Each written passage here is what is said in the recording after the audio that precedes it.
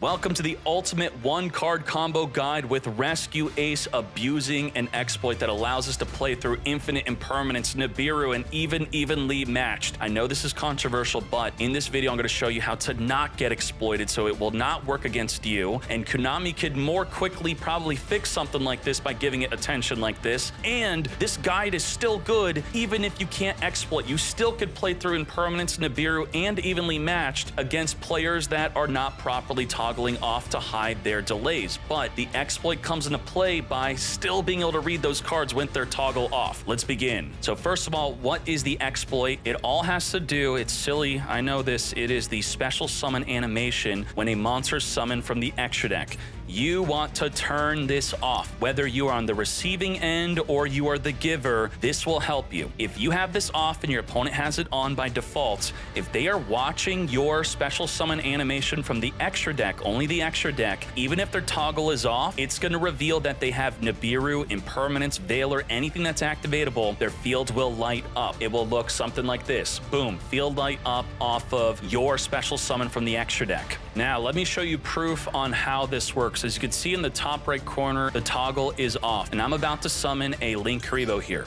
So Linkuriboh, come forth and summon. The toggle is off, all right? So their field should not light up, but we're gonna activate the Poplar very quickly, and then their field's gonna light up just like that. Now we see their field lighting up even though their toggle is off. Now get ready for the best Rescue Ace combo exclusive to Master Duel because we are using and abusing the opponent's field lighting up. What if you cannot exploit anymore and Konami fixes this or your opponent has it turned off? Well, they still have to play properly and most players do not. They usually are going to have their toggle on or auto, but not off because they want to be able to use their impermanence and not miss out on using it. Now we are going to change our plays based off the opponent's field lighting up and we're going to go step by step. The three different main plays on what to do. So we're going to be activating our bonfire. Make sure our toggle's on on or auto for the poplar being added so it can activate in the hand, otherwise it will not. Activate poplar, come forth and summon, and then poplar is going to be activating. Now this is when their field would light up if their toggle is on on or auto. If it's on off, the field will not light up and you will not see impermanence, but we have the trick to see it anyway, if they don't know. So we're going to now be linking this off into Linkuriboh. Now, part of this trick for this specific scenario, you have to click very quickly in this area in order to get through the animation quicker than they finish watching your animation. I know this is no longer a turn-based game anymore, but you got to do it like this. So get ready, pick the extra monster zone, then get clicking right here. Click, click, click, click, yes, click, click, click, boom. This is when, right now, before you even choose the zone, their field's to light up even with their toggle off if they have an impermanence or veiler. This will definitively tell you right here that they have something activatable.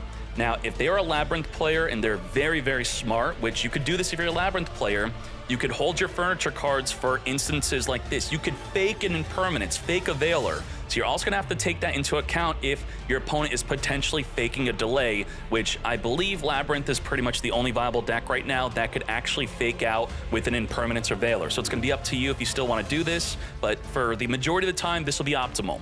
So we're going to be then putting in our Poplar. We're to use our original Sinful. Let's turn off their field now and then we're to send the Poplar to the graveyard. Now make sure to summon your Hydrant behind the extra monster zone of either side. It does not matter which side, but it's important to do so for the other parts of the combo. Now, they're not going to use their Impermanence or Veiler here if they know how to play properly against Rescue Ace, because everyone is told correctly to save your Disruption for the Turbulence. Unless they have more than one Veiler, more than one Impermanence, then it could be okay to negate. So we have Hydrant activating. We're going to be grabbing our Airlifter airlift or anything level 4 or lower, summon it behind the extra monster zone so it gives you more options to make your plays, which you'll see why that matters later. Lifter, also not negating that, grabbing the alert. Alert, while we have a Hydra on the field, has the additional effect of searching our deck instead of just the graveyard. So this is where we're to add our Turbulence. This is when they know for sure that they have to hold their impermanent Veiler for the Turbulence. Now, we're to play around that because we saw in the Linkuriboh summon their field lit up, telling us that they have something to target and negate our Turbulence with. So we're going to then go into a Hiita. Hiita is here. You can go into Pit Knight Earl if you have room in the extra deck. I do not have room for Earl. And then we're going to be going into our Promethean Princess. Let's get to it. Come forth and Shokan. And then Promethean Princess going to be reborning the Hiita from the graveyard, doesn't matter where. And then we're to whip out our Sprite Elf. And just like that, if they have Imperm or Veiler, they could only use it on the Elf and not the Turbulence. Because if you summon the Turbulence to where the Elf is pointing to, it is not targetable. It is untargetable completely.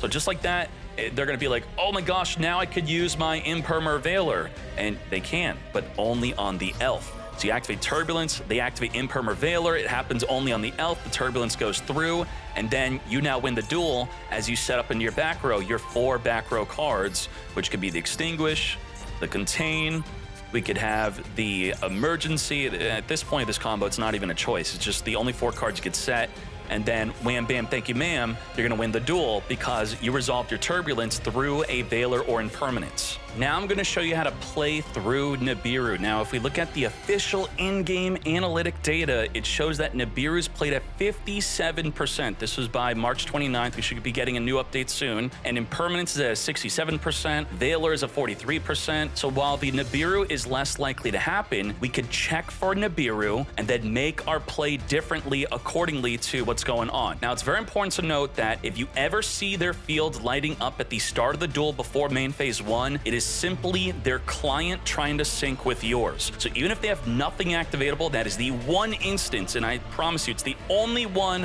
where their field will light up if they have nothing activatable. Otherwise, with the exploit, if they're watching your summon animation, their field will not light up unless they have something activatable. Let's now make this play. Nothing activatable happened. Let's do our normal play, and we're gonna do the Nibiru check and then change our play accordingly.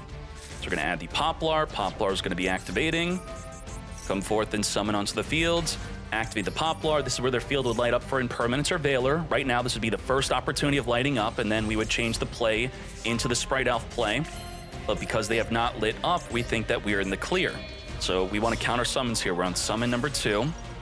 And then you do want to spam click the Poplar quickly so that you get that final check of them having an impermanence here and nothing lit up. You clicked this very quickly. You have the setting on correctly. Their field didn't light up. There is no impermanence unless they turned off the setting because they watched this video. We're now going to be using our original Sinful Spoils, summon from the deck the Hydrant, summon this behind an extra monster zone, very important. And you're going to see why. So we are on summon number three. And then now we're going to be grabbing our Airlifter, which will put us on summon number four. Let's put this also behind an extra monster zone. Activate, grab an alert mate or summon. So we don't know if there's a Nibiru yet. We're going to now alert. Alert, come to me, Turbulence. Now, if they have Nibiru in their hand, they know to wait to Nibiru your Turbulence, then they win. So what we have to do is we have to check for Nibiru, then play around Nibiru, and then once we played around Nibiru, we whip out our Turbulence, then win the duel. So instead of summoning Hiita, because there was no field light up, so we're going to summon Reprodocus. So let's whip out the Reprodocus, and we're going to summon it on top of the Hydrant, and then this is it because it's an extra deck monster summon and you're using the summon animation turned off and they don't have that setting turned off, their field will light up even if the toggle is off. Now, again, hopefully Konami fixes this or your opponent watched this video and they know to not play uh, into this, but their field's lighting up on the fifth summon where otherwise it did not light up at all. Now, we summon Turbulence, we lose. We're gonna get Nibiru'd. We do not want that to happen. Their field lit up, we gotta play around it. Now, the Reprodocus, only to where it's pointing to, will change the type of the monster into a Cyberse. So we're going to scroll on down here, Cyberse. Very good. And then we're going to go into a link decoder. Get linking up. Very nice. And then we are going to be going into a protect code talker, which will trigger the link decoder. So, you know, they're waiting on that Nibiru. They're waiting. So again, their field's gonna light up again here. Even if they're toggled off, they're gonna be like, what the heck? How are they seeing my Nibiru? Come forth and reborn this. And now, we're just gonna go into an Apollousa. just like that. Got him. And then when you summon the Apollousa, their field's gonna light up and they're gonna be like, wow, uh, the opponent's really freaking smart. How did they know to play around Nibiru and not play around Impermanence? It's because you watched this video. And then you know the rest. You could safely summon your Turbulence, and we'll just do that real quick and activate and resolve it. Now I'm going to show you the third and final play where you see no field light up the entire turn, and you could just go wham, bam, thank you, ma'am, full combo, the optimal way to do this turn one. So I did formulate this extra deck perfectly to play around this exploit. And uh, even when you're not exploiting, again, if they're not playing correctly, they're not toggling off, which most people are not at the lower ranks. Anything below Master, they're probably not toggling off anyway. So you don't even need the exploit. This is just the correct way to play in Master Duel. And then boom, you now win the duel. So let's show you the final way with their field never lighting up. Now get ready for the final play, the full combo plus how to play out your disruptions. If the opponent does not have Impermanence or Nibiru, they may have a card like Evenly Matched or even Harpie Feather Duster. These are on the rise. These are great cards to counter Rescue Ace, but we have the counter for the counter while we also check for Nibiru and Impermanence. So let's start this off. Bonfire grabbing our Poplar, make sure our toggle is on Honor Auto and adding the Poplar. Come forth, summon itself onto the field, activate, grab ourselves our original Sinful. Basic plays here. We're then going to be Link Kuriboing this up, and then very quickly clicking into the middle. So the faster we activate the Poplar and target itself, that's when the opponent would be able to respond with an impermanence. And then we'll see their delay, we'll see the field light up there. Now with the original Sinful, we're gonna send the Poplar. Grabbing the Hydrant, making sure to summon it behind an extra monster zone. There's two of them, both of them are fine. Now let's activate the hydrant, come to us, our airlifter. We're gonna lift off right behind that Linkuriboh, come forth, activate, come to us, alert. And with our alerts, let's get alerting right now before we make our fifth summon, because we could then get Nibiru, for example. Grab Turbulence. Now, after four summons, let's commit to the fifth summon, and let's check for a Nibiru. Reaper come forth and summon. Right in front of the hydrant, very important. Have to do it there. If their field does not light up, you are in the clear. Super clear. Now, let's banish for the turbulence. We're going to banish the alert and the airlifter. Come forth. And don't summon it behind an extra monster zone because we're going to want that for our Firewall Dragon later. We're going to be activating this right here, right now. Set the only four available cards that we could set from the deck. So there's no real choices. Set, set, set. And if you want after setting them, you could just right click to click cancel. So you don't have to order them manually and it will just shuffle them up. So right click, does not matter. Now the emergency is activatable, even though it's a quick play spell because we control hydrant. Only one of these background cards could be activated right now. We're gonna grab a preventer, summon it, and then send it to the grave. When preventer is sent to the grave through any wave whatsoever, it's gonna activate to summon a banished rescue ace. Come forth, we're gonna be summoning our lifter. Now, let's use the Reprodocus to turn the Hydrant into a Cyberse. All the way down here. And let's start linking this off. Link decoder. Right under the Reprodocus. We do need a link arrow for this to be done. And then we're going to be making the Protect Code Talker. This could be summoned in either zone, not does not matter. Now, let's trigger our link decoder. You don't have to summon it behind an extra monster zone. We could keep it open. Now, very important, to summon the Firewall Dragon, we're going to use the Protect Code Talker as three materials, not the Turbulence, not the Link Decoder, we're going to use the Airlifter. And we want to have an open space behind it. Firewall Dragon, if it's co-linked, is going to be able to return a card in our graveyard back to our hand. So we are going to be banishing the Linkuriboh and Reprodocus to summon our Protect Code Talker behind the Firewall Dragon or you mess up. Now the Firewall Dragon being co-linked is going to be able to add the Preventer in the graveyard back to the hand, which we have not summoned yet through its own effect, so we could summon it. First, we could make our Terahertz. One, two, three, three different Cyberse. And then, let's whip out our Preventer. What do we want to banish from the grave? The emergency could recycle a trap. The hydrant's going to be reborn with the rescue, so let's get rid of the airlifter. Come forth and summon. And then if you want to optimally play around a Veiler, you could toggle on and then activate the Terahertz in the end phase. Otherwise, you could activate it right now. It does not send by a cost. So if it were to just get negated here, for some reason, they held on to all of their things here. So let's just end phase. We'll do it properly. End phase. Now they can't use Effect Veiler.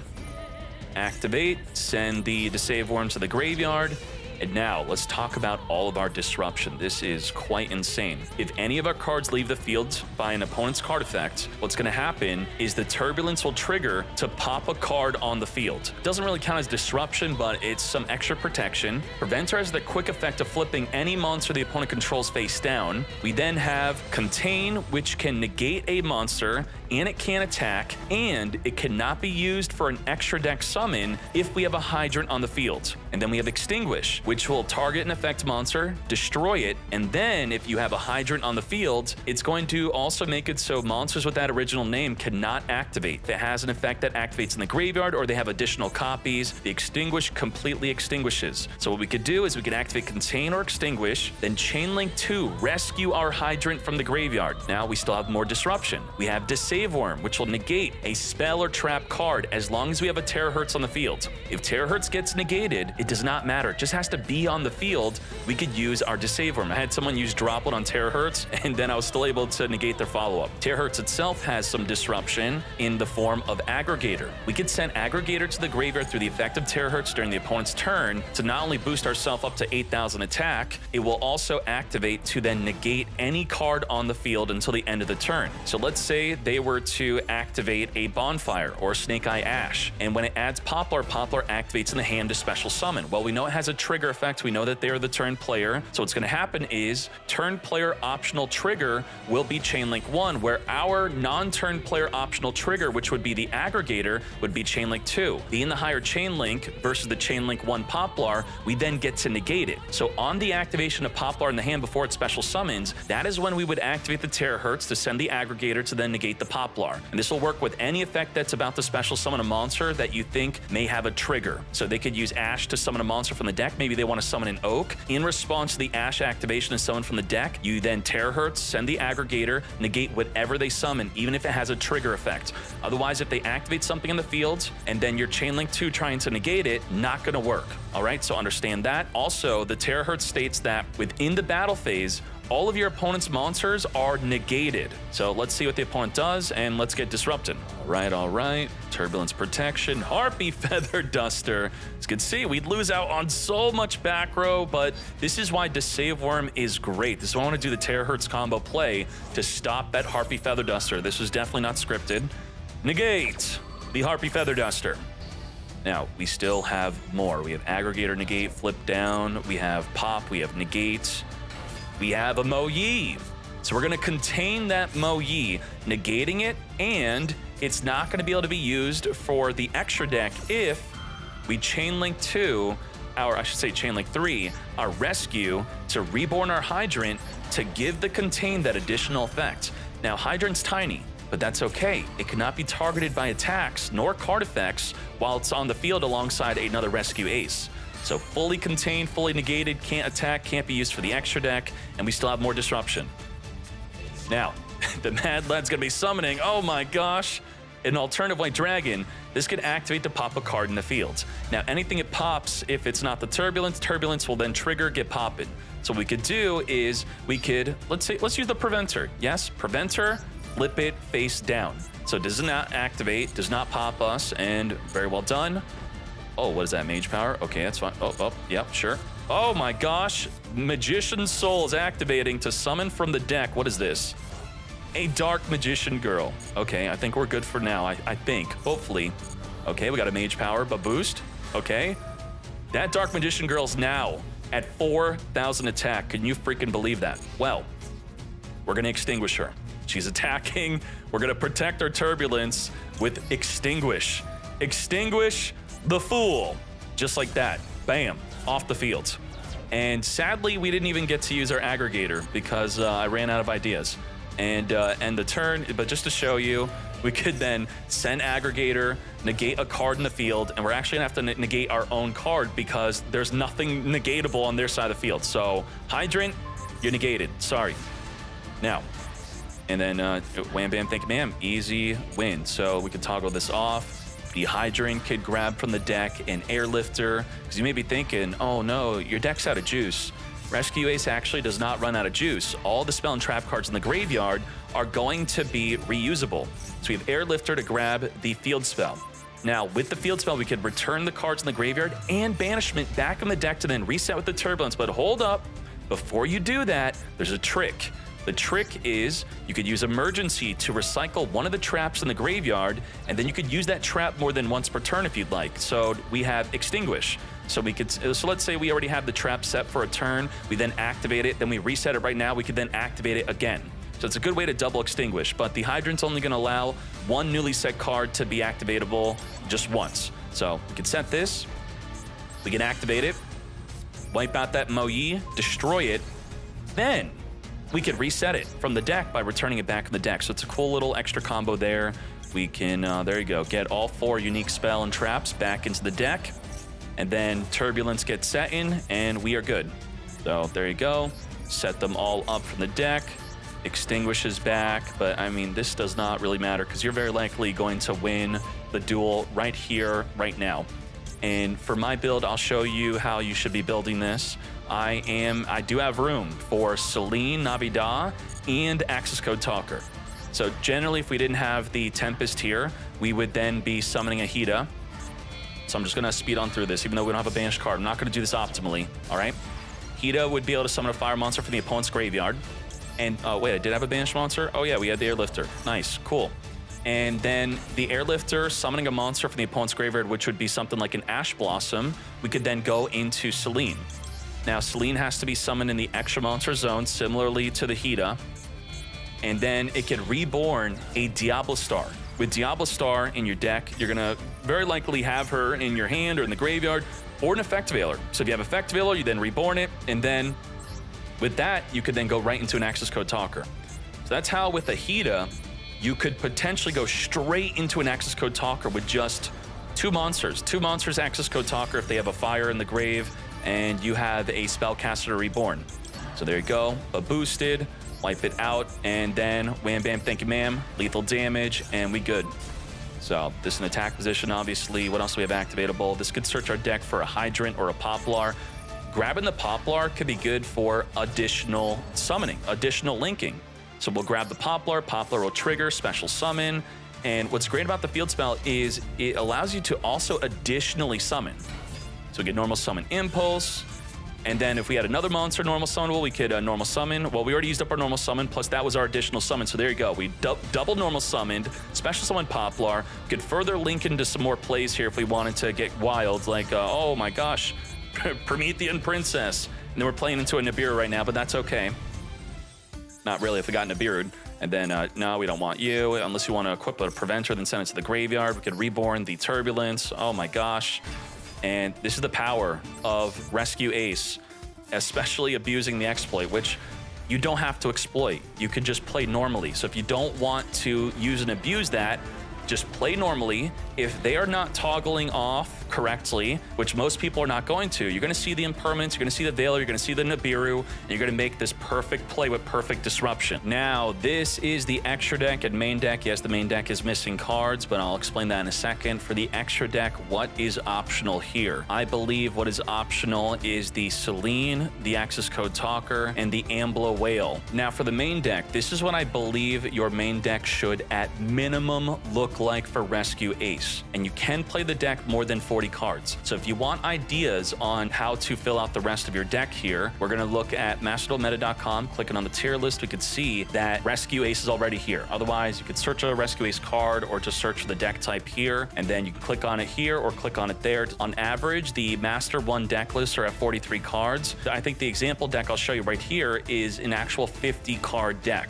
Looking just like that, this is how you could play the deck if you want. If you want to play up to 50, I prefer closer to 40, but that is going to be your choice. And that is it for the video. I appreciate you for watching. Thank you very much. And we're going to be having a massive, huge leak for the May pack $1,000 tournament qualifier. I'll see you there. Get ready for it. Thank you very much. We are out.